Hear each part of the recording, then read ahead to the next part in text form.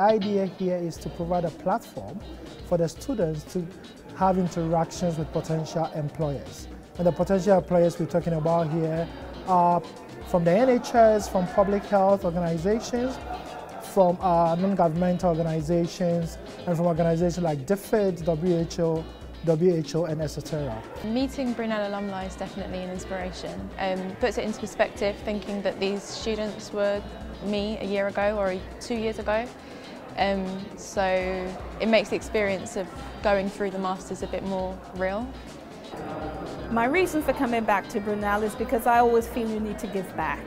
Um, it was a university that helped to catapult my career and I feel, you know, I should give back something uh, to the university.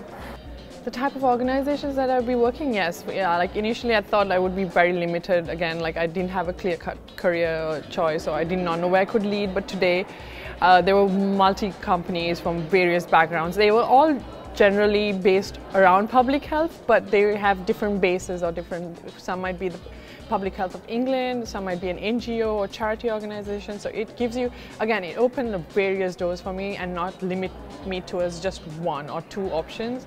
My advice in terms of career would be take initiative, uh, contact organizations, the ones that you want to work for, uh, perhaps try some voluntary or uh, having a, a day with them to see what they are like, the people, the culture, have a taster. The benefits of networking with this organization, uh, A includes that they get to know you there.